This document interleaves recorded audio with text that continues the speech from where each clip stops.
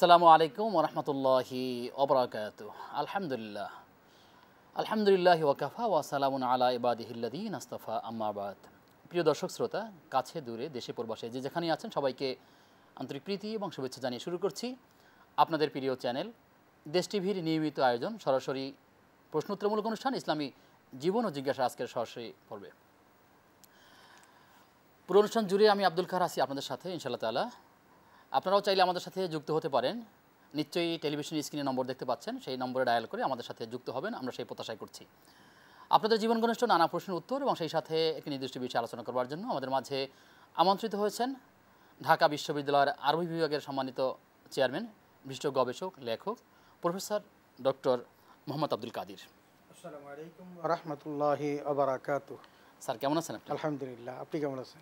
জি আলহামদুলিল্লাহ আল্লাহ রবুল্লা আলম ভালো রেখেছেন। আপনাকে পেয়ে বেশি ভালো লাগছে। আলহামদুলিল্লাহ। আলহামদুলিল্লাহ অনুষ্ঠানের পক্ষ থেকে আপনাকে স্বাগত জানাচ্ছি। প্রিয় দর্শক আমরা এক এক দিনে এক একটি নতুন নতুন বিষয় নিয়ে কথা বলার চেষ্টা করি। আর যে বিষয়গুলো আমাদের জীবনের জন্য অত্যন্ত গুরুত্বপূর্ণ আজকে আমরা কথা বলতে চাই আরবি ভাষা চর্চা এক্ষেত্রে সমস্যা এবং সম্ভাবনা।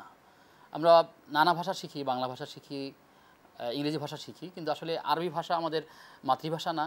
এরপরেও আমাদের একাডেমিক লাইনে এগুলো প্রয়োজন হয়। কিন্তু আসলে আমরা চাই আমাদের জীবনটা এমনভাবে গড়ে উঠুক, আমরা কোরআন পড়ব, হাদিস পড়ব, সন্তানদেরকে ঠিক এভাবে ধাঁচে গড়ে উঠবো। কিন্তু আসলে এই আরবি চর্চা না থাকবার কারণে আসলে আমরা সেইগুলো আগাতে পারছি না। সুতরাং আরবি চর্চার ক্ষেত্রে, আরবি জানবার ক্ষেত্রে কেনই বার গুরুত্বপূর্ণ, আর এর কতগুলো ধারা রয়েছে, কোন জায়গা থেকে শুরু করব, আমরা বিস্তারিত খুঁটিনাটি নিয়ে কথা বলব ইনশাল্লাহ আজকের অতিথির সাথে আপনারা আমাদের সাথে যুক্ত হবেন, সেই প্রত্যাশাই করছি। আমরা চলে যাচ্ছি আজকের অতিথির কাছে। মতনাম শুরুতে যদি আমি আপনার কাছে একটা বিষয় জানতে চাই যে আসলে আরবি ভাষা যে আমরা চর্চা করব, এর গুরুত্ব কতখানি, যদি বলতেন। ধন্যবাদ বিজ্ঞ উপস্থাপক। আমরা যদি একদম সূচনাতেই আসি যে আল্লাহ জাল্লাহ শাহরুহ মানুষ সৃষ্টি করেছেন এবং সৃষ্টির সূচনা করেছেন হজরত আদম আলী সালাতাম থেকে। তো সুরা আর রহমানের মধ্যে আল্লাহ কথাটি বলেছেন যে খলাকার ইনসান আল্লাহ বাহুল বায়ান তিনি মানুষ সৃষ্টি করেছেন এবং ভাব প্রকাশের ক্ষমতা দিয়েছেন। তাহলে বোঝা যাচ্ছে এই ভাষা মহান রব্বুল আলমিনের নিদর্শন এবং রব্বুল আলমিন এই ভাষা মধ্য দিয়ে আমাদেরকে অন্যের সাথে ভাব বিনিময় করার সুযোগ করে দিয়েছেন এবং আমরা আমাদের মনের সকল কাকতি বিনতি অভিভক্তি সব কিছুই আমরা প্রকাশ করতে পারি এই ভাষার মধ্য দিয়ে। তো এই পৃথিবীতে আল্লাহ রব্বুল আলমিন অসংখ্য ভাষা সৃষ্টি করেছেন। আজকে আমরা বাংলা বলি, ইংরেজি বলি, আরবি বলি, যত রকমের ভাষা আসে, এই সকল ভাষাই যে মহান রবের নিদর্শন, সেটা সুরা রুমের মধ্যে আল্লাহ স্পষ্ট করেছেন, ওমিন আয়াতিহি খালকুস সামাবাতি উল আর্দ ওয়াক্তিলাফু আল সিনাতিকুম ও আলওয়ানিকুম ইন্নাফি দারিকাল আয়াতিল্লিল আলিমিন। এখানে আল্লাহ তালা যে কথাটি বলেছেন যে, তার নিদর্শন সমূহের মধ্যে এটা যে, খালকুস সামাবাতি উল আর্দ, আসমান এবং জমিন সৃষ্টি এরপর অক্তুলাফুল আংফুসিকুম ও আলওয়ানিকুম, মানুষের ভাষা এবং বর্ণের যে বৈচিত্র্য, এটার মধ্যে আয়াতিল্লিউলিল আলিমিন, যে জ্ঞানীদের জন্য নিদর্শন রয়েছে। এটা বলে আল্লাহ রব্বুল আলমিন যেটা বোঝাতে চাচ্ছেন, সেটা হলো যে পৃথিবীর সকল মানুষের সৃষ্টি, যেমন আল্লাহর একটা নিদর্শন, ঠিক তেমনি মানুষের ভাষাটাও আল্লাহ তালার নিদর্শন। এই জন্য এই ভাষা ব্যতীত কারও পক্ষে কোনো কিছু করা সম্ভব নয়। পৃথিবীতে যত নবী রাসুল পাঠিয়েছেন, সমস্ত নবী রাসুলকে আল্লাহ তালা তাদের নিজ নিজ ভাষায় পাঠিয়েছেন। ওমা আরসাল্লামী রসুলিন ইল্লা বিলেসানি কৌমিহি লিউবাইয়েন আলাহুম আল্লাহ সেখানে বলছেন যে যে প্রত্যেকটি নবীকে তাদের নিজ নিজ ভাষায় পাঠিয়েছেন এই কারণে যে, যাতে করে তারা ধর্মের কথাগুলো, তাদের ধর্মীয় বাণীগুলো সকলের কাছে সুস্পষ্টভাবে প্রকাশ করতে পারে। তাহলে মূল উদ্দেশ্য যেটা সেটা হলো ভাষার চর্চাটার উদ্দেশ্য হলো যে ধর্মীয় কথাগুলো জানা সেটা সেটাকে মানা এবং পৃথিবীতে বসবাস করতে হলে একে অন্যের সাথে যে মোয়ামেলাত করতে হবে মোয়াশারাত করতে হবে মনের ভাবটা প্রকাশ করা। যেভাবে প্রকাশ করা যায় সেই প্রকাশ করাটাকে আয়ত্ত করার জন্যই আমাদের ভাষা চর্চা। এখন এই যে আরবির কথা বলছেন এই ভাষার আরবি ভাষার চর্চা থেকে বা এই ভাষার সূচনা করতে মানে উৎপত্তি কোথায় উৎপত্তি থেকে এটা যদি আমরা আসি তাহলে আমরা দেখব এই জায়গাটায় আসব। আমরা উৎপত্তি জানবার আগে আমাদের সাথে একজন কলার যুক্ত হয়েছেন আমরা তার জি, কথা শুনে আচ্ছা, আসি। ঠিক আছে। দর্শক কি আছেন আমাদের সাথে? জি আসসালামু আলাইকুম। ওয়ালাইকুম আসসালাম রহমতুল্লাহ। হুজুর আমরা দুটা প্রশ্ন বলতে চাইছিলাম। জি আপনি প্রশ্ন করুন। যে আমার প্রশ্ন হলো যে আমরা যে কোরআন কোরআন খতম দেই খতম দেওয়ার পরে এটা ইয়া কোরআন যে পড়ি পড়ার পরে কি এটা খতম দেওয়া কি বাধ্যতামূলক নাকি? জি। আরেকটা প্রশ্ন হলো যে বিছানার মধ্যে ছোট বাচ্চা এক সাইডে প্রস্রাব করছে। অন্য সাইডে বৈশা কোরআন শরীফ পড়া যাবে কিনা হুজুর? জি ছোট বাসায় একটি রুমের একটা সাইডে প্রস্তাব করেছে এক- একটা অংশ। জি জি এক সাইডে করছে এক কোনায় অন্য কোনায় বসে আমি কোরআন শরীফ বিছানায় পড়তে পারব কিনা? জি ইনশাআল্লাহ তালা। আপনি থাকুন আমাদের সাথে আপনাকে প্রশ্ন করার জন্য ধন্যবাদ জানাচ্ছি। স্যার আমরা প্রশ্নটা নিয়ে নিই যেটা জি। আমাদের ভাই জানতে চেয়েছেন যে কোরআন খতমের জন্য বিশেষ কোনো পদ্ধতি আছে কি না আসলে কি করা দরকার? আমরা অনেক সময় আমাদের অনেকগুলো নিয়ম আমরা বানিয়ে নিয়েছি। তো দর্শক যেভাবে বললেন যে আসলে কোরআন খতমের জন্য কি নিয়ম আছে আদৌ নিয়ম আছে কিনা থাকলে সেটা কি?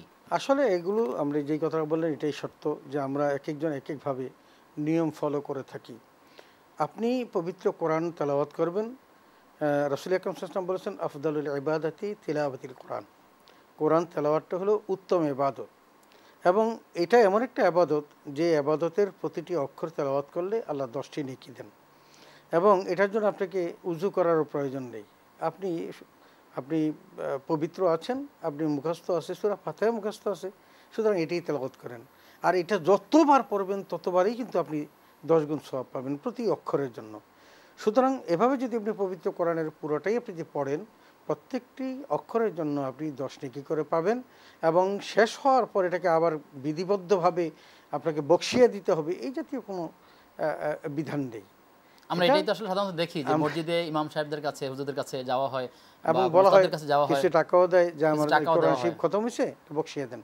আসলে বকশিয়ে দেওয়ার বিষয়টা বিশেষ করে রমজান মাসে এই প্রচলনটা খুব বেশি দেখা যায়। বেশি দেখা যায়, আমাদের মা বোনদের মাঝে।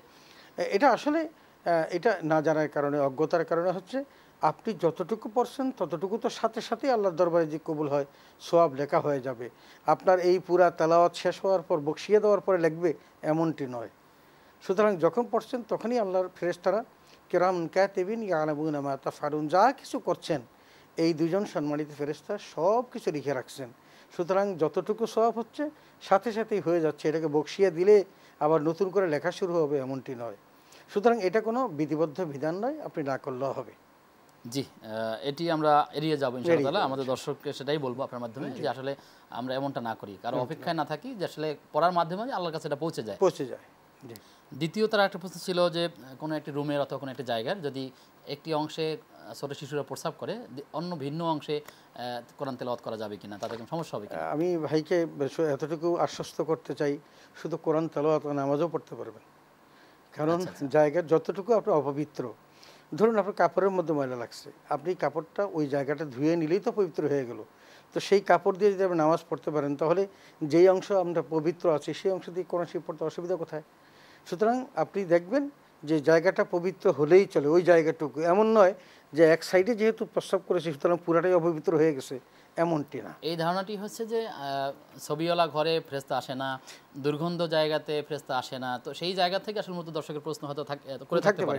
তো সেক্ষেত্রে যদি এমন হয় যে জায়গাটাতে প্রচণ্ড রকমের দুর্গন্ধ হয় অনেক সময় ছোট মানুষের প্রস্রাব এও অনেক সময় গন্ধ হয় অথবা বড় মানুষের করে থাকতে পারে কোনো একটা রুমের অংশে। তো এভাবে যদি হয়ে থাকে যে প্রস্রাবের গন্ধে টিকাই যাচ্ছে না তো এমন জায়গাতে আসলে ভিন্ন জিনিস। হ্যাঁ। ওনার জানার বিষয় হলো যে বিছানার এক পাশে প্রস্রাব আছে আরেক জায়গা ভালো আছে ওখানে বসে কোরআন তেলাওয়াত করা যাবে কিনা? কারণ এটা আর সংক্রমিত হচ্ছে না অন্য জায়গায়। যেখানে অপবিত্রতা আছে ওখানেই থাকছে। আপনি অন্য জায়গায় কোরআন তেলাওয়াত করতে পারেন এমনকি নামাজও পড়তে পারবেন কোনো সমস্যা নেই। জি আশা করছি আমাদের দর্শক বুঝতে পেরেছেন। ইতিমধ্যে আমাদের সাথে আরেকজন দর্শক যুক্ত হয়েছেন। থ্যাংক ইউ দর্শক প্রশ্ন করুন। জি আমার প্রশ্নটা হলো যে আমার ফুফা প্রায় বিশ থেকে পঁচিশ বছর আগে ঋণ করেছিলেন এক বৃদ্ধার কাছ থেকে। তো এখন ফুফা বৃদ্ধ হয়ে গেছেন স্মরণ শক্তিও ঠিক নেই। সেই বৃদ্ধার ঠিকানা কিংবা তিনি কে ছিলেন সেটা আমার ফুপি জানেন না। আবার কত টাকা যে পাওনা ছিল সেটাও ফুপি জানেন না। তো তিনি এখন কি করতে পারেন? জি আপনি থাকুন আমাদের সাথে আমরা জানব ইনশাল্লাহ তালা আমাদের মোহতারামের থেকে। আমাদের প্রশ্ন পেয়েছেন সরাসরি। জি। উনি প্রশ্ন যেটা করছেন সেটা হলো যে সম্ভবত এক সময় কিছু টাকা হাওলাত করেছিলেন কত টাকা করেছিলেন অনেক সময় হয়ে গেছে এখন মনে নেই বৃদ্ধ হয়ে গেছেন। আসলে এই বিষয়টা হলো আপনি শুধু স্মরণ করার চেষ্টা করেন। কার থেকে নিয়েছেন কত নিয়েছেন? কত নিয়েছেন কার থেকে নিয়েছেন। যদি তার উত্তরাধিকারকে না পান তাহলে আপনি তার নামে আপনি সদকা করে দেন গরিব মিসকিনকে দিয়ে দেন নিয়তটা করবেন আর যে যার টাকা না যেন তাকে সবটা পৌঁছে দেয়। যদি যদি কি পরিমাণ দিবেন? পৃথিবীতে না থাকে হ্যাঁ কি পরিমাণ এটাকে আপনি আন্দাজ করে যা হয় তার চেয়ে একটু বেশিই দিবেন। যা হবে আপনার ধারণা যে পাঁচশো টাকা আপনি ছয়শো টাকাই দেন। যেহেতু অনেক বছর হয়ে গেছে তো যাতে করে আপনি তার কাছে দায়বদ্ধ না মনের মধ্যে এরকম না খুঁত না থাকে না কম দিলাম কিনা। কম দিলাম কিনা। তো একটু যতটুকু মনে পড়ে আন্দাজ করে তার চেয়ে একটু বেশিই দেন এবং সেটা আল্লাহর রাস্তায় দান করে দেন তিনি পেয়ে যাবেন আর যখন তিনি ছুটে গেছে মনে এসেছে এখন এই মনে আসাটাই তো তার জন্য আল্লাহর কাছে একটা Exactly, তাকুয়ার একটা জায়গা। দা তাকওয়ার জায়গা এবং এটা কি এটা তো তবাকে বলা হয়। তবা হলো কোনো অপরাধ করে ফেলছে সেটা আবার স্মরণে এনে আবার জায়গা মতো ফিরে যাওয়া। তো যেহেতু ওনার স্মরণে এসেছে এবং তিনি ফিরে যেতে চান তার এই হক আদায় করতে চান সুতরাং তিনি যতটুকু মনে পড়বে তার তার চেয়ে একটু বেশি তার নামে সৎকা করে দিলে আদায় হয়ে যাবে ইনশাল্লাহ জি ইনশাআল্লাহ তাআলা আমরা আলোচনা করছিলাম যে আরবি ভাষার উৎপত্তি আপনি এখানে কথা বলছেন এখন এই যে উৎপত্তির কথা যদি আমরা বলি আমরা একটা হাদিস আমাদের কাছে মনে পড়বে সেটা হলো এই রসুল আকরম সাল্লাহ আলহি ওসাল্লাম বলছেন আহিবুল আরব সালাসিন লিয়ানি আরবিয়ন লেসান আহলুল জান্নাতে আরবিয়ন ও আলফাতুল কোরআনে আরবিয়ন। তোমরা তিনটি কারণে আরবিকে পছন্দ করো। তার মধ্যে একটি হলো যে, আমি আরব, আরবি ভাষায় কথা বলি। আমি নিজে আরবি এবং কোরআনের ভাষা আরবি, জান্নাতের ভাষা আরবি। তো এই যে জান্নাতের ভাষা আরবি বলতে গিয়ে আমরা যেই সূত্রটা পেলাম, সেই সূত্রটা হলো এই যে জান্নাতের ভাষাটা আরবি, সেখানে অন্য কোনো ভাষা নেই। তো যেহেতু আল্লাহ রব্বুল আলমিন হজরত আদম এবং হাওয়াকে বলেছিলেন, ইয়া আদমুসকুন আংতা ওয়াসাউজুকাল জান্না হে আদম, তুমি তোমার স্ত্রী সহ জান্নাতে বসবাস করো। এটা আমরা দিবালকের মতো স্পষ্ট জানি যে আদম এবং হাওয়া তারা জান্নাতেই বসবাস করেছিলেন। অতএব জান্নাতে যে ভাষাটা সে ভাষাটা ছিল আরবি। অতএব হজরত আদম আলাইসালাম মানব জাতির আদি পিতা তিনি আরবি দিয়েই তার জীবনের সূচনা করেছিলেন এবং আরবি ভাষাই তার ভাষা ছিল। অত্যন্ত মজার বিষয় যে হজরত আদম আলহিসাল্লাম আরবি ভাষায় কথা বলেছেন এটাই সত্য। জি আমরা আসব এই জায়গাটাতে আমরা একটা কল নিয়ে আসি। দর্শক কে আছেন প্রশ্ন করুন। আসসালামু আলাইকুম। ওয়ালাইকুম আসসালাম রহমতুল্লাহ। ভাই আমার একটা প্রশ্ন ছিল। ওই সূরা কাফিরুন চারবার পাঠ করলে নাকি একটা মানে এক কোরআনের খতম খতম হয় আর কি আমরা একটু জানি। তো এটা কতটুকু সত্য এটা আমি জানতে চাই। জি। হ্যাঁ, আপনাকে ধন্যবাদ। ধন্যবাদ। সুরা কাফির আমরা যতটুকু একদম সহি রেওয়ায়ত মোতাবেক সুরা এখলাস যদি কেউ তিনবার পাঠ করে তাহলে এক খতম কোরআনের সব পাওয়া যায়। সেটি কি আসলে স্যার এখানে আমরা বিস্তারিত ব্যাখ্যাটা না বলে অনেক সময় একটা ভুল মেসেজ চলে যায় কিনা। যে এটা কি তাহলে দেখা যাবে কোনো মানুষই এক সময় কোরআন তেলাওয়াত করে না পূর্ণাঙ্গভাবে। তারা শুধু বারবারই তিনবার তেলাওয়াত করে সুরে ক্লাস পড়ে ফেলে। আসলে কি বিষয়বস্তুর আলোকে এই ফজিলত কিনা? না না না না সেটা না। হ্যাঁ। এটা নয়। এটা হলো যে একজন মানুষ কোরআন সোয়াবের কতটুকু কতটুকু অর্জন করা যেতে পারে। তো রাসুল আকরম সাল্লাহ আলি ইসলাম সহজভাবে সাহাবিদেরকে যেই সুযোগটা দিয়েছিলেন, সেটা হলো এই পবিত্র কোরআন তো বিশাল ব্যাপার। আপনি যত অক্ষর পড়বেন, সে পরিমাণ সোয়াব পাবেন এবং কোরআনের ব্যাপারে, তেলাওয়াতের ব্যাপারে এবং নামাজের ব্যাপারে একটা আলাদা মেসেজ আল্লাহ দিয়েছেন সুলাম মুজাম্মিনের মধ্যে ফাকরা উ মাতাইয়াসার মিনাল কোরআন।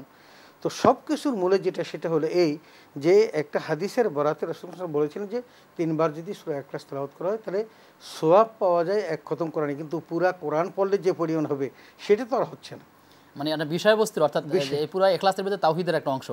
কোরআনের। তাওহিদ রিসালাত আখিরাত ওই তিনের এক অংশের কারণে আসলে এই বিষয়টা- এটা বলা হচ্ছে। এটা কিনা সুতরাং কি? জি এই কারণেই বলা হয়েছে। কিন্তু তার অর্থ এই নয় যে আপনি সুযোগ পেলেও কোরআন তেলাওয়াত না করে আপনি শুধু সুরা এক ক্লাস পড়বেন এবং প্রতি তিনবার পড়লে এক প্রথম কোরআন স্বভাব হয়ে যাবে এমনটি ভাবার কোনো প্রয়োজন নেই। হ্যাঁ পাবেন ঠিকই কিন্তু আপনাকে মনে রাখতে হবে যে কোরআন তেলাওয়াত পুরা কোরআন তেলাওয়াতটাই হলো আপনার জন্য একটা বিধিবদ্ধ বিধান। যদি আপনি পারেন যদি সম্ভব হয়।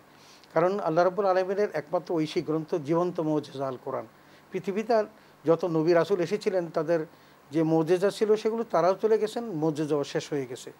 কিন্তু মোহাম্মদ রাসুল্লাহ ইসলামের মৌজেজা আল্লাহ জীবন্ত মৌজেজা কেয়ামত পর্যন্ত রেখে দিয়েছেন, যেটা রাসুলের সময়কালে যা ছিল একদম কেয়ামত পর্যন্ত তাই থাকবে, যার একটি জের জবর রুক্তা পেশ খোদাদ্রোহীরাও চেষ্টা করলে পরিবর্তন করতে পারবে না। কারণ, ইন্না ওয়া ইন্না লাহু লাহাফিজুন। আল্লাহ নিজেই ঘোষণা দিয়েছেন যে কোরআন আমি নাজিল করেছি আর কোরআনের রক্ষক হলাম আমি। সুতরাং তিনবার সূরা একলাস পড়লে খতম হবে। কাফিরুন সম্পর্কে এটা আমরা কিন্তু বিস্তারিত কথা জানব একজন দর্শককে যুক্ত করে নিয়ে। দর্শক কে আছেন? প্রশ্ন করুন। হ্যালো আসসালামু আলাইকুম। ওয়ালাইকুম আসসালাম রহমতুল্লাহ। আচ্ছা আমি একটা ইম্পর্টেন্ট বিষয় জানতে চাচ্ছিলাম। সেটা হচ্ছে ইদানিং খুব কুফুরি নিয়ে কথা শুনি। তো আপনারা কি এই বিষয়টাকে অবহিত করবেন? কারণ পরিবারে অনেক নাকি ছেয়ে গেছে। শিক্ষিত অশিক্ষিত সবকিছুর মধ্যে এটা অনেক বেশি ছেয়ে গেছে এবং যদি খুব কাছের কেউ কাউকে কুফুরিতে আহ, আক্রান্ত করে এবং সেক্ষেত্রে যদি কোনো হিন্দু পুরোহিতের সাহায্য নিয়ে কাউকে ক্ষতি করার চেষ্টা করে সে কাছের লোকের সাথে তার আচরণটা কি হবে এবং কুফরির আসলে শাস্তিটা কি এটা জানতে চাচ্ছি ইহকাল এবং পরকালের ক্ষেত্রে। এই বিষয়টা নিয়ে যদি আপনারা একটু ক্লিয়ার করতেন।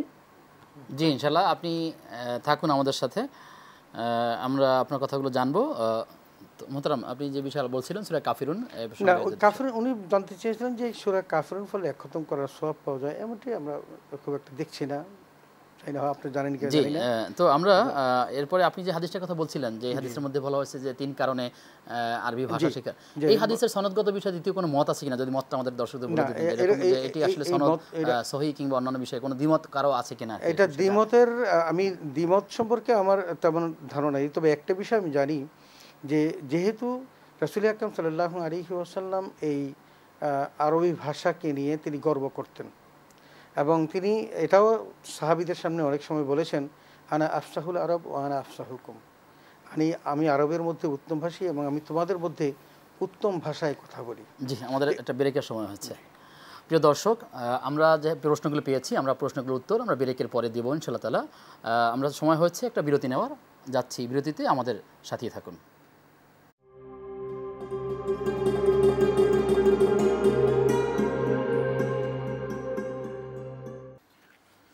বিরতির পরে সবাইকে আবারও আমন্ত্রণ জানাচ্ছি। দেশ টিভির নিয়মিত আয়োজন সরাসরি ফোন লাইভ অনুষ্ঠান ইসলামী জীবন ও জিজ্ঞাসার আজকের সরাসরি পর্বে। আমাদের আজকের অতিথি professor doctor Mohammad Abdul Kadir chairman আরবি বিভাগ ঢাকা বিশ্ববিদ্যালয়। মোহতারাম আমরা একটি বিষয় আপনার মাধ্যমে জানাতে পারি কিনা দর্শককে যে আরবি ভাষার বিশেষ শিরোনাম যেটা যেহেতু আরবি ভাষা চর্চা এবং সমস্যার সম্ভাবনা আমরা যদি আপনার থেকে কয়েকটা সমস্যার কথা জানতে পারি। আসলে সমস্যা তো অনেকগুলো। আমরা আমরা যতটা না ধরেন এই যে বাংলা ইংরেজি নিয়ে আমাদের সন্তানরা যদি ইংরেজি স্কুলে ভর্তি হয়, বাংলা কোনো খ্রিস্টান মিশনারি স্কুলে যদি ভর্তি হয়, তাহলে আমরা অত্যন্ত প্রাউড ফিল করি। অথচ আমাদের জান্নাতের যেই জায়গা যেখানে জান্নাতে যাওয়ার জন্য যে ভাষাটা খুব বেশি প্রয়োজন, সেটা আমরা একেবারে বাংলা ভুলে যাই। দেখুন হজরত ওমর ফারুক রাদিল্লাহ তালা আনহু, তার ছেলে আবদুল্লাহ যখন সুরা বাকারা মুখস্থ করেছিলেন, তখন তিনি দাওয়াত দিয়ে উট জবাই করে খাইয়েছিলেন। এই আনন্দে যে তার ছেলে সুরা বাকারা মুখস্থ করেছে। আর আজকে আমাদের বিপরীত, একেবারেই বিপরীত যে আমরা কোরআন তালাওয়াত শিখাই না, কোরআন পড়তেও জানি না নিজে পড়াইতেও জানি না এবং তদুপরি আমরা আবার কি করি, সন্তানগুলোকে ইংরেজি মিডিয়ামে পড়িয়ে নিজেরা অত্যন্ত প্রাউড ফিল করি। এমনকি বিদেশের কোনো বিশ্ববিদ্যালয় স্বনামধন্য বিশ্ববিদ্যালয়ে ভর্তি হওয়ার সুযোগ পায়, আমরা এটাকে অনেক বড় করে প্রচার করার চেষ্টা করি।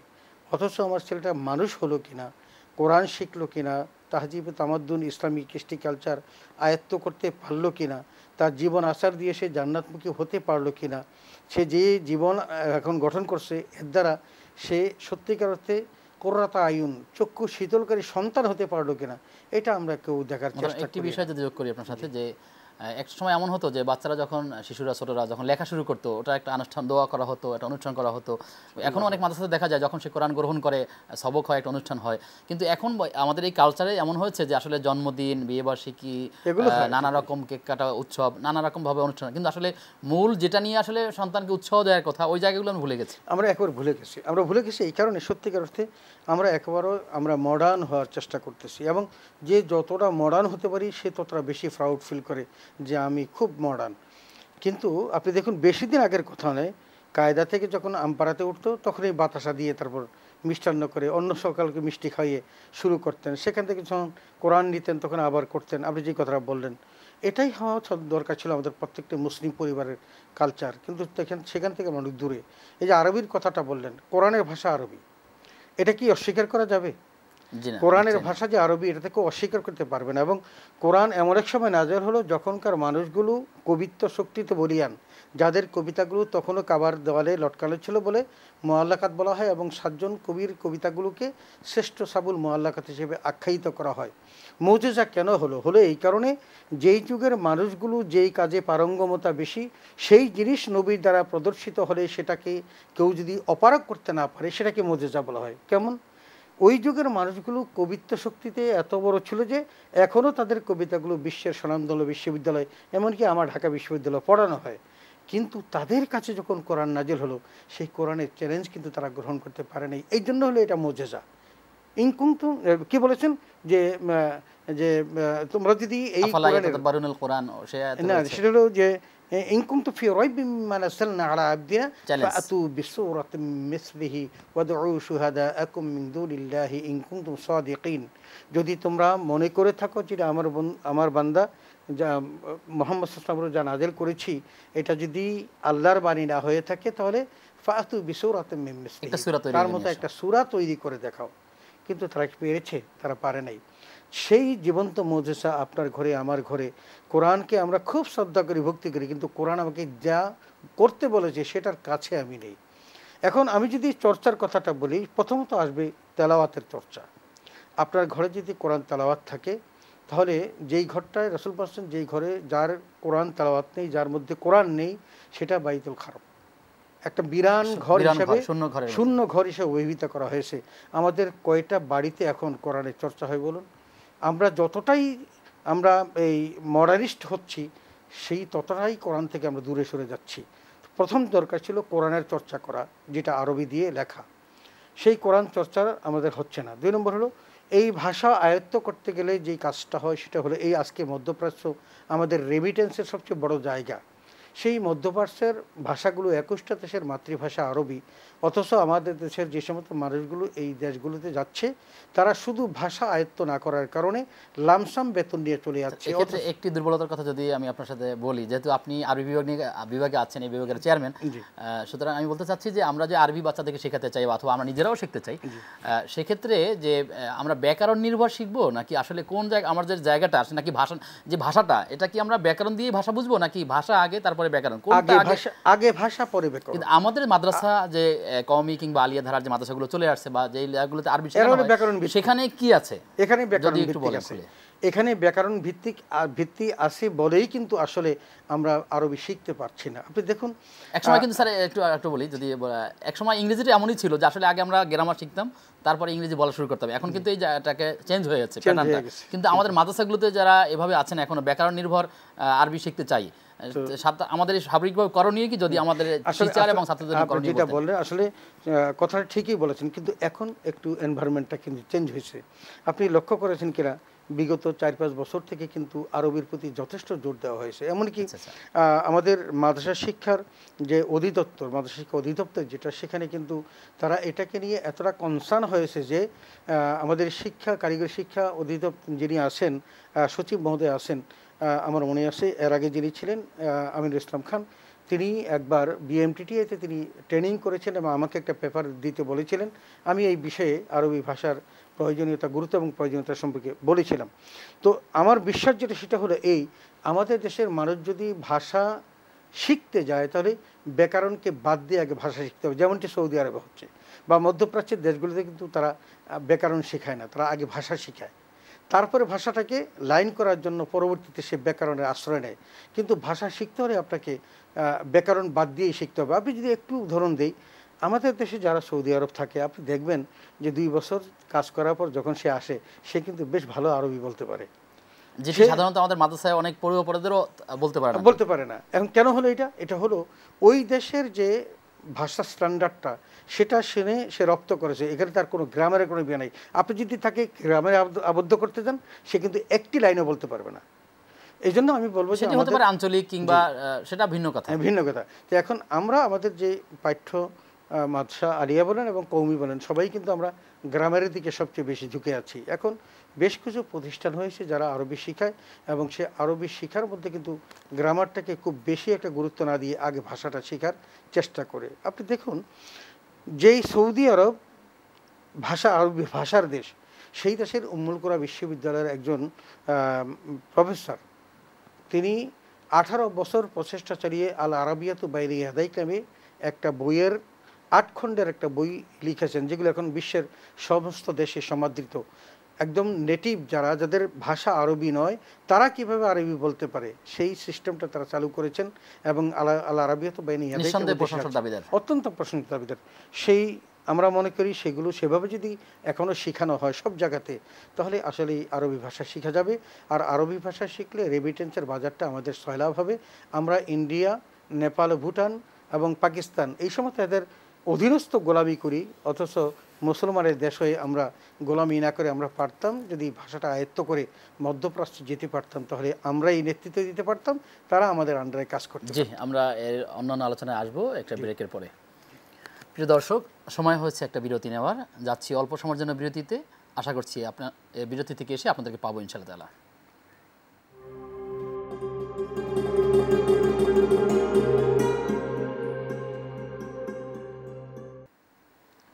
বিরতির পরে সবাইকে আবারও আমন্ত্রণ জানাচ্ছি। দেশ টিভির নিয়মিত আয়োজন সরাসরি প্রশ্নোত্তরমূলক অনুষ্ঠান ইসলামী জীবন ও জিজ্ঞাসা আজকের সরাসরি পর্বে। আমাদের আজকের অতিথি প্রফেসর ডক্টর মোহাম্মদ আব্দুল কাদির। মোহতারাম আমাদের হাতে প্রশ্ন আছে। আমাদের বোন জানতে চেয়েছিলেন যে সুরায় কাফিরুন পড়লে এর ফজিলতটা কি? মূলত কয়বার পড়লে কি ফজিলত পাওয়া যাবে? জি ধন্যবাদ। আসলে আপা যে আমার বোন যে কথাটি বলেছিলেন ছিল সুরা কাফিরুনের ব্যাপারে তিরমিজি শরীফের যে হাদিসটি সেটা হলো একবার যদি পড়ে তাহলে পবিত্র কোরআনের চার ভাগের এক ভাগ। তার মানে চারবার যদি পড়ে তাহলে এক খতম কোরআনের সোয়াব যেমনটি আমরা সুরা একলা সম্পর্কে জেনেছি যে তিনবার যদি পড়ে এক খতম কোরআনের সোয়াব আসলে আক্ষরিক ঠিক সব- ঠিক ঠিক ঠিক তেমনি ভাবে সুতরাং সুরা কাফিরুন তিনি চেষ্টা করবেন চারবার পড়ার জন্য। তবে সুরা কাফিরুন পড়লে যেটা হয় সেটাও তার মধ্যে একত্ববাদের শক্তি তৈরি হয়। মানে এটা ওই হাদিসটা আমরা তাবারিন হাদিসটা বলে দিতে পারি যে তিনি শির থেকে মুক্ত থাকবে নাকি যদি শেখ সে ঘুমানোর সময় তিনি নিয়মিত তেলাওয়াত করেন। থেকে মুক্ত থাকবে আর এটা তো আমাদের সবার জন্যই করা উচিত। অবশ্যই অবশ্যই। মোহতারাম একটা ফোন আছে আমাদের সাথে। দর্শক কে আছেন আমাদের সাথে? প্রশ্ন করুন। আসসালামু আলাইকুম। ওয়ালাইকুম আসসালাম রহমতুল্লাহ আমি প্রথম জানতে চাইছিলাম যে কোন অক্ত শুরু কোন অক্ত পাঁচ অক্ত আমরা বলি যে দর্শক আমাকে শুনতে পেলে আপনি টেলিভিশনের ভলিউম কমিয়ে প্রশ্ন করুন। দর্শক? আমরা আপনার প্রশ্ন বুঝতে পারিনি। আপনি আচ্ছা। টেলিভিশনের ভলিউম কমিয়ে প্রশ্ন করুন। জি জি ভলিউম কমাইছি এখন করতেছি। জি ধন্যবাদ। মানে পাঁচ নামাজ আমরা যে পড়ি এটা আলহামদুলিল্লাহ। কিন্তু কোন- অক্ত দিয়ে শুরু করলে আর কোন অক্ত পর্যন্ত শেষ? পাঁচ অক্ত আর দরুদ শরীফ পড়ি আমি আল্লাহ সাল্লাহ মোহাম্মদ নবীল উম্মি। এইটা ঠিক আছে কিনা? আর আমি বেতরের নামাজটা একশোর সময় পড়ে ফেলাই, আর ওই যদি সুযোগ পাই আল্লাহ পড়ায়, তাহলে আমি তাহাজ্জুদের নামাজ পড়ি। কিন্তু আমি অনেক পড়ি আর কি। ওই বারো টাকা পড়ি, তারপর পড়তে থাকি পড়ি, বীজ সময় থাকে, হাতে পড়ে থাকি। এতে আমার নামাজটা হবে কি না? সুন্দর। সালাম আলাইকুম। ওয়ালাইকুম আসসালাম রহমতুল্লাহ। জি, আমাদের হাতে একটা প্রশ্ন আছে। আমাদের ভাই জানতে দর্শকের প্রশ্ন ছিল যে দর্শক বোন কুফরি কি জিনিস এবং কোন কোন কাজে কুফরি হয় এবং এর থেকে উত্তরণের আচ্ছা, উপায় কি উনি বাঁচার উপায় কি? উনি যে বিষয়টা নিয়ে বলতে চেয়েছিলেন সেটা হ্যাঁ হলো সেটি হলো জাদু টোনা বান ক্ষতি করা ইত্যাদি যে সমস্ত বিষয়গুলো আসলে আমাদের সমাজে এখন কুফুরিটা সয়লাভ হয়ে গেছে এই কারণে মানুষ অন্যের ক্ষতি করার জন্য ব্যস্ত হয়ে পড়ে। যদিও আল্লাহ রাব্বুল আলমিন অন্যের ক্ষতি কামনা করতে নিষেধ করেছেন এবং তো অন্যের কল্যাণ চাওয়ার জন্য বারবার তাকিদ দিয়েছেন এটা আমাদের জন্য একটা সামাজিক বেধি। এই সামাজিক এই বেধি থেকে উতরাতে হলে আমাদেরকে প্রথমেই আল্লাহর প্রতি আমাদের আমাদের বিশ্বাসটা বাড়াতে হবে। তো আমরা একটা জিনিস জানি যে কুফরি তার ক্ষতি করা যায়, কিন্তু রাসুল আকরম সাল্লাম তাবিজ ব্যবহার করতে নিষেধ করেছেন, কারণ এই তাবিজের মধ্যে সেরেকের সম্পৃক্ততা থাকে। কেউ যদি মনে করে এই তাবিজ ব্যবহার করার কারণে আমার তো তিন চারটা বাচ্চা নষ্ট হয়েছে, এই তাবিজ দেওয়ার পর আমার সন্তান, তাহলে বোঝা গেল যে তাবিজের এত ক্ষমতা যে এখন আর সন্তান মারা যায় না তাবিজের কারণে। এরকম বড় ধরনের ক্ষতি হওয়ার আশঙ্কা থেকেই কিন্তু তাবিজ ব্যবহার করাটা নিষেধ করা হয়েছে। আর কিন্তু অনেক কোরআনের আয়াত এমনও দেখা যায় তাবিজ ধারণ করলে বলে যে আমি তাবিজ আছে মানে কেউ ক্ষতি করতে পারবে না। ক্ষতি করতে পারবে আর তাবিজ নাই মানে আমাকে ক্ষতি করতে পারবে নাউজুবিল্লাহ, মানে তার বিশ্বাসটা কোন জায়গায় চলে গেল? নাউজুবিল্লাহ এটা আল্লাহর উপর বিশ্বাস না থেকে তাবিজের উপর চলে যায়। জন্য এটা শেরিকের পর্যায়ে পড়ে যায়। তো রসুল আকরম সাল্লাম কিন্তু পবিত্র কোরআন তেলাওয়াত এবং তেলাওয়াত করে ফু দেওয়াটাকে কিন্তু একটি জঘন্য অভিজ্ঞতার কথা আমি বলতে পারি। আমি একজনের কথা জেনেছি যে তিনি সৌদি আরবে ওমরা করতে যান না এই কারণে তার সঙ্গে তাবিজ আছে। ওমরা করতে গেলে বিমানবন্দর থেকে এগুলো ফেলে দিতে হবে। সুতরাং সে যাচ্ছে না এই কারণে যেগুলো খেলে আবার যেতে হবে নিতে পারবে না। সেই কারণে সে মনে করছে যে ওখানে যাওয়া তো আমার জন্য অত বেশি জরুরি না ফরজও হয় না না করলে অসুবিধা নাই কিন্তু তাবিজটা লাগবে। তাহলে সে ইমান নামাজ কালাম সব কিছু শেষ ভিত্তি কি? সব কিছু শেষ হয়ে গেছে কিছুই নাই তার মধ্যে। তিনি তার ইমানের সবটুকু হারিয়ে ফেলেছেন। সুতরাং যদি তিনি আমাদের এই অনুষ্ঠান দেখে থাকেন, আমি তাতে অনুরোধ করব যে এই সেরেকি থেকে যেন তিনি নিজেকে মুক্ত করেন এবং জান্নাতে যেতে হলে তাবিজ নয়, জান্নাতে যেতে হলে আল্লাহর গোলামি করা লাগবে। রব্বে কারিমের গোলামি ছাড়া জান্নাতে যাওয়ার কোনো সুযোগ নেই। আপনি সৌদি আরব যাবেন ওমরা করবেন, হজ করবেন, এই হজ করাটা হলো আল্লাহ রবুল আলমী আপনার জন্য যে ফরজ করে থাকে, করতেই হবে জীবনে একবার। আর যদি আপনি আল্লাহর ঘরের মহব্বতেও যদি যান, তাহলে রাসুল আকরাম যে কথাটি বলেছেন, কেউ যদি সাতবার কাবাঘর তওয়াফ করে এবং দুই রাকাত নামাজ মাকামে ইব্রাহিমে আদায় করার পর জমজমের পানি পান করে তার জীবনের সকল গুণ আল্লাহ মাফ করে দেন। সুতরাং এটা অনেক বড় অ্যাচিভমেন্ট জি আপনি যদি দর্শককে একটু বলে দিতেন অর্থাৎ আপনার মাধ্যমে জানাতে পারি কিনা যে কুফর সম্পর্কে তিনি প্রশ্ন করেছেন এবং বিস্তারিত বলবার সুযোগ আমাদের এখান থেকে কম। যদি তিনি কিছু স্টাডি করেন অর্থাৎ তিনি অনলাইন থেকে বা বিভিন্ন বৈশিষ্ট্য থেকে বিভিন্ন জায়গা থেকে তিনি এগুলো সংগ্রহ করে? তিনি কোন কোন কাজ করলে কুফুরি হতে পারে এগুলো যদি তিনি পড়ে নেন তবে একটা মেসেজ আমরা দিতে পারি যে কোনো কুফুরির আশ্রয় নিয়ে কারও ক্ষতি করা এবং নিজের কোনো কল্যাণ কুফুরির মাধ্যমে আদায় করার চেষ্টা করে এটা একেবারেই অজ্ঞতা ছাড়া কিছু নয়। এরপরে আমাদের হাতে প্রশ্ন আছে আমাদের দর্শক জানতে চেয়েছিলেন। তিনি তিনটি প্রশ্ন করেছেন তার একটি ছিল যে পাঁচ ওয়াক্ত নামাজ নিয়ে আর কি। আচ্ছা পাঁচ ওয়াক্ত নাম আমরা যেভাবে বলার চেষ্টা করি ফজর জোহর আসর মাগরিব এশা এটি তো আমাদের কাছে প্রচলিত বিধান। যে উনি যদি ফজর থেকে শুরু করেন এশাতে শেষ। এটা করলে উনি পাঁচ ওয়াক্ত ইয়ে করলেন। এটার দ্বারা তার কি ফায়দা হবে আমি জানি না তবে তিনি যদি পরিসংখ্যানটা জানতে চান তাহলে ফজর থেকে শুরু করে এশা দিয়ে শেষ। এটা হলো পাঁচ ওয়াক্ত নামাজ। আর শুরু করবার যদি বিষয় থাকে তাহলে তিনি যার উক্ত সামনে যেটা আসবে সেখান থেকে সেটাই শুরু করবেন এটা কোনো সমস্যা নেই। তবে আরেকটা জিনিস উনি বলার চেষ্টা করেছেন যে তিনি তাহাজ্জুদ পড়েন। জি তার দ্বিতীয় প্রশ্ন ছিল যে দুরুশ্বই পড়েন একটা আল্লাহুম্মা সাল্লি আলা সাইয়্যিদিনা মুহাম্মাদিন নবী উম্মি ওয়া আলিহি ওয়াসাল্লাম। আছে। দুরুদটা ঠিক আছে এটা ঠিক আছে দুরুদ ঠিক আছে দুরুদে কোনো সমস্যা নেই। এটা তিনি যদি মুখস্থ থেকে পড়বেন আরও অনেক দুরুদ আছে। হাদিস সম্মত দুরুদ এটা তিনি পড়তে পারেন। দুরুদ আরও অনেক দুরুদ আছে তিনি যদি মুখস্থ করে নেন তাহলে এটা সমস্যা নেই। তবে তাহাজ্জুদের ব্যাপারে যে কথা তৃতীয় প্রশ্ন ছিল তার একটা যে তিনি বেতরের ঈশার নামাজের সাথে বেতরটা পড়ে ফেলেন। পরবর্তীতে আবারও আবার সুযোগ নেন তিনি তাহাজ্জুদের সালাত আদায় করেন। আচ্ছা এই বিষয়ে? এটার এটার বিষয়টা আমি একটু বলি যে কেউ যদি তাহাজ্জুদ নিয়মিত পড়তে পারেন তিনি বেতের নামাজটা তাহাজ্জুদের পরেই পড়বেন এটাই উত্তম। যার অভ্যাস হয়ে যাবে যার অভ্যাস হয়ে যাবে ছুটে যাবে না আর যদি তার ছুটে যাওয়ার আশঙ্কা থাকে তাহলে কিন্তু তিনি এশা নামাজের পরেই পড়ে নেবেন। আর তাহাজ্জুদের ব্যাপারে তিনি যে কথাটা বলেছেন যে তার হাতে সময় আছে তিনি আট দশ বারো এরকম পড়েন এটা কিন্তু নয়। কোনো আবাদতকে যদি আপনি কবুল করাতে হয় তাহলে আপনার তিনটা শর্ত লাগবে। একটা হলো আকিদার বিশুদ্ধতা যা আপনার ইমান ঠিক রাখতে হবে। দুই নম্বর হলো তরিকার বিশুদ্ধতা সেটা হতে হবে সেটা হলো পদ্ধতি। রাসুল সাল্লাম যেভাবে শিখিয়েছেন সেভাবে। আর তিন নম্বরটা হলো ইমানের পবিত্র এখলাস তো এই তিনটা আল্লাহর কি। আল্লাহর জন্য। এই তিনটা যদি না থাকে তাহলে কোনোভাবে আপনার আবাদত কবুল হবে না। আপনি কোন তরিকাতে আপনি তাহাজ্জুদ বারো রাখাত পড়বেন? লাগবে তো রাসুল ইসলাম যত রাখাত পড়েছেন তত রাখাতই পড়েন। তো আমরা যেটা দেখেছি ম্যাক্সিমাম রাসুল রাকাত আমাদের অনেক জায়গাতে এই জায়গাটাতে একটু দুর্বলতা থাকে স্যার যে আমরা আসলে ভালো কাজ মনে করলেই করা শুরু করে দিই নিজেদের মতো করে। কিন্তু নিজেদের মতো করে যে ইবাদত হয় না সেটাই আসলে আমরা বুঝতে যদি তাই হতো তাহলে নবীজিতে এই কথা বলতেন না যে সল্লু আই তুমুরি উসাল্লি। তোমরা আমাকে যেভাবে নামাজ পড়তে দেখেছ, সেভাবে নামাজ পড়ো। আমরা নিজেরাই তো তৈরি করে নিতে পারতাম নামাজের পদ্ধতি, তা তো পারছি না। কারণ রাসুল আকরাম সাল্লাহ আলী আসলামকে জিব্রাহিল আলহি সাল্লাম নামাজ পড়ে দেখিয়েছেন। ফজর কীভাবে পড়তে হবে, জোহর কীভাবে পড়তে হবে, আসর কীভাবে পড়তে হবে, মাগরিব এশা কীভাবে পড়তে হবে দেখিয়েছেন, সেইটাই তিনি সাহাবাদেরকে শিখিয়েছেন, সেটাই আমাদের জন্য ইমপ্লিমেন্ট করার সুযোগ করে দিয়েছেন। সুতরাং বাহিরে মানে ইসলাম তা যা করতে বলেছেন ততটুকুন বা যা নিষেধ করেছেন যতটুকুন ঠিক এক মাপকাঠি দিয়ে। মাপকাঠি দিয়ে। নিজের মন গড়া কিছুই সফরে একবার এক লোক বললেন যে নামাজ তো কসর করতে হবে? বলে আমার হাতে তো সময় আছে পড়ারও সুযোগ আছে তাহলে পড়ি। সব পাবো না নামাজ তো। তার মানে হলো আসলে সেই আমরা অবগত না বিষয়টির সাথে। এক্স্যাক্টলি এক্স্যাক্টলি সফরে মাত্র দুইটা আমাদের মধ্যে কসর করা যায় একটা হলো জোহর ও একটা জোহর হ্যাঁ, একটা জোহর একটা আসর একটা এশা। এই তিনটা নামাজে আমি চার রাকাতকে দুই রাকাত পড়তে পারব। আর তো কোথাও কমানোর কোনো সুযোগ নেই। হাতে যতই সময় থাকুক যত ভালো কাজই হোক কিন্তু বিধান তো বিধান। এই মানাটাই ইসলাম। এখন কেউ যদি মনে করেন যে আমার হাতে তো আর এখনকার যে জার্নিগুলোতে এগুলো কমফোর্টেবল জার্নি কমফোর্টেবল জার্নিতে এখন তিনি হয়তো মনে করতে পারেন যে আমি কি করি? আমি পুরাটাই পড়ি কিন্তু আল্লাহ আল্লাহ তাআলা যেখানে অপশন দিয়েছেন সেটাকে মানার নামই তো আর অনেক আমলের ক্ষেত্রে স্যার আমরা কিন্তু সুন্নাহকে প্রমোট করি না। আমরা বলি জায়েজ আছে কিনা? এই বিষয়টা যদি একটু ক্লিয়ার করে দেন সুন্নাহ এবং জায়েজ। এটা এটা এটা স্পষ্ট যে আপনি সুন্না মোতাবেক আমি তো একটু আগেই বললাম যে আপনার যদি আকিদার বিশুদ্ধতা এবং তো আপনার তরিকার বিশুদ্ধতা এবং নিয়তের একলাসের বিশুদ্ধতা না থাকে আপনার সেই আবাদত আল্লাহ দরবার কবুল হবে না। সুতরাং আপনি যদি কষ্ট করে আবাদতই করেন তাহলে আপনাকে এটা সুন্নত মেনে করতে কোন জায়েজ খুঁজবো না কখনো। জায়েজ খোঁজা যাবে না। সুন্নত কোনটা সেটাই। কিনা সেটা। রাসূল আকরাম সাল্লাল্লাহু যে কথাটি বলেছেন যে মানে আহাব্বা সুন্নাতি ফাকাদ আহাব্বানি ওমান আহাব্বানি কানা মাই ফিল জান্নাহ।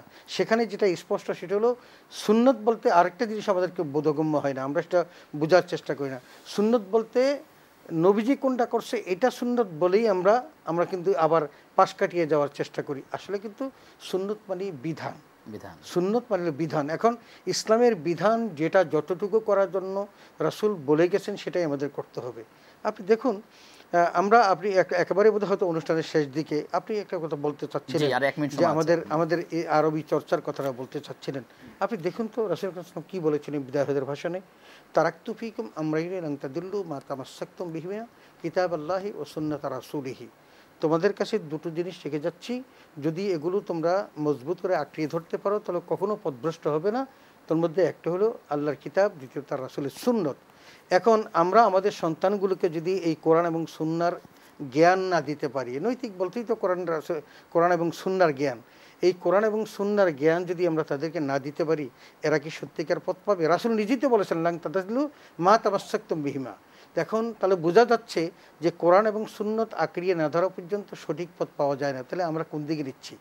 আমাদের সন্তানগুলোকে যদি সঠিক পথে রাখতে হয়, তাহলে আমাদের এই জায়গাটাকে স্পষ্ট করতেই হবে এবং কোরআন এবং হাদিসের এই জ্ঞান তাদেরকে দিতে হবে এবং তাদেরকে এই দুটো অনুযায়ী জীবন কায়েম করার পথ তাদেরকে অবশ্যই সন্ধান দিতে হবে। তা না হলে কিন্তু তারা পথভ্রষ্ট হয়ে যাওয়ার সম্ভাবনা। জি আপনার মাধ্যমে অনেক বিষয় আমরা জানলাম। আল্লাহ তালা এর উপর আমল করবার তৌফিক দান করুন। ধন্যবাদ আপনার জন্য দোয়া করি আল্লাহ তালা আপনার হায়াতে বারাকা দান করুন। আমরা শেষ করতে হচ্ছে। ধন্যবাদ। প্রিয় দর্শক আমরা জানব আরবিকে জানব আমরা স্কুল কলেজ বিশ্ববিদ্যালয় যেখানেই অধ্যয়ন করি না কেন আমরা আমাদের সন্তানদেরকে অবশ্যই আল্লাহর সাথে পরিচয় করিয়ে দিব। রিসালাত তাওহিদ আখেরাত অন্যান্য সবগুলো বিষয়গুলো আপনার, আমার সন্তান, ছোট ভাই, তারা যেন কোরআন পড়তে পারে, হাদিসগুলো পড়তে পারে এবং রসুলের সিরাত বুঝতে পারে, ইসলামের মৌলিক বিষয়গুলো জানতে পারে, আকিদা কী জিনিস এবং অন্যান্য শির, কুফর, পার্থক্য করা, তার কবিরা গুণা ইত্যাদি বিষয়গুলো আসলে সে যে ঘরানেই পড়ুক না কেন, আমরা যেন আমাদের সন্তানকে এগুলো শেখাই এবং আরবি চর্চার প্রতি যেন আমরা উদ্বুদ্ধ হই, আল্লাহ তালা আমাদেরকে সেই তৌফিক দান করুন, আমিন। আগামী অনুষ্ঠান দেখবার আমন্ত্রণ জানিয়ে আজকের মতো এখানে বিদায় নিচ্ছি। আসসালামু আলাইকুম রহমতুল্লাহি ওবরাকাতু